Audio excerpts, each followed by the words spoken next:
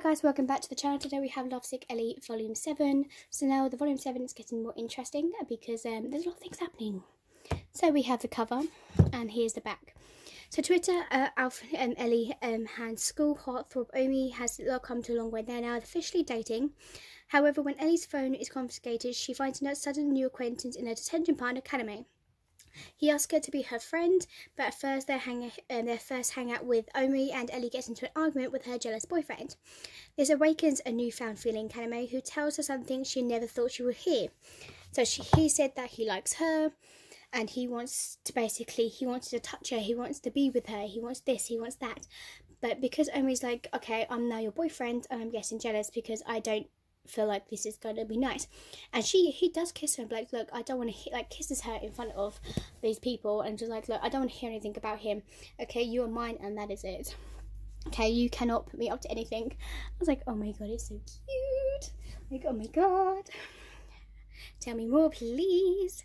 Um so he does everything and then um she does a race. She's like does this kind of um, have a, a thought in her mind like, oh my god, if I could win for faster, maybe I'll have um, and we be at the end and I'll be able to have fancy thought. So she had that and ran, so she got, I believe, seventh place, fifth place, something like that. And then he does it. He tells Kaname that she's going to be waiting at the line. He does, goes into the jog, um, into the race, but not knowing that the Kaname basically can't run that fast because he has a condition he suddenly just fell to the floor and he was like oh crap now i've got to pick this guy dude up take him to the nurse's office because this guy collapsed um, obviously Erica got kind of like confused, but at the same time worried. She was like, "Oh my god, what's happened?" She goes and finds out what's happening.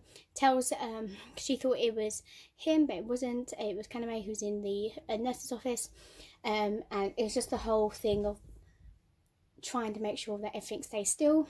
But then he Kaname then goes, I actually like you, Omi. And I'm like, hang on a minute, what? So that confuses me a little bit. Like, he had, I think he has something for both of them, but I just, I don't know what his real game plan is. It's so confusing. But I'm just like, girl, you better help me up and tell me what's the hell's going on. So, like, it goes through, like, like these, him going, then she didn't tell her best friend about, um, about her and uh, Omi, so she gets upset that she didn't tell him, and then it just goes through all that, like they do like sweet moments and everything like that. So this was like a really, really cute little volume, and volume eight is next. Okay, this is Lovesick Ellie volume eight, so you see this cute little. So a lot happens from eight till ten, and it's unbelievable.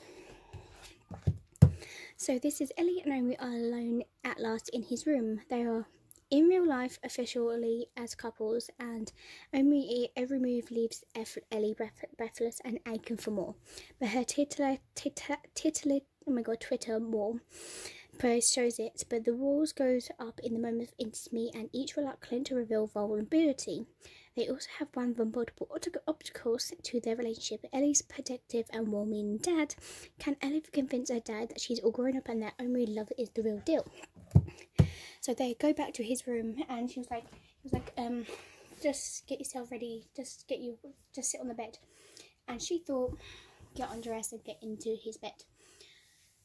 And he was like, look, we're not ready for this yet, like kind of thing.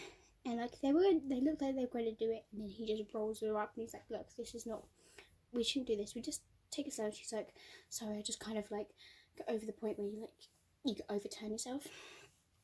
And then from that, um, her dad basically sees her outside, like, hmm, who's this guy? Ellie, no, I don't think so. You are not going to be with this guy. Absolutely not. Like, mm-mm.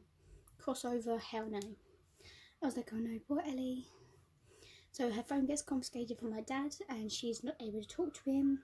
Um, and then she was like, it got to a point where she was like, her dad was like, you're not getting good grades. You're in this, you're going grades because this guy, blah blah blah. I was like, no, it's not. It's nothing to do with that.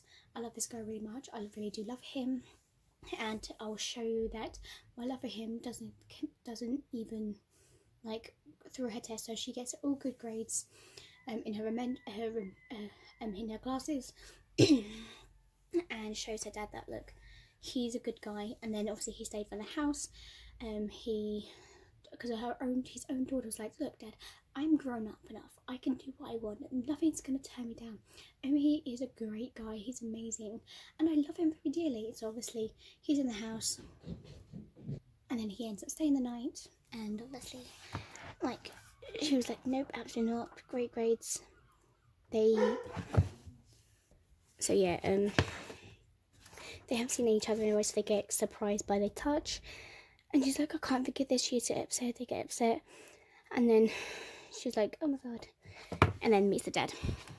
Then things get traced. But you see that in volume 9. See you next.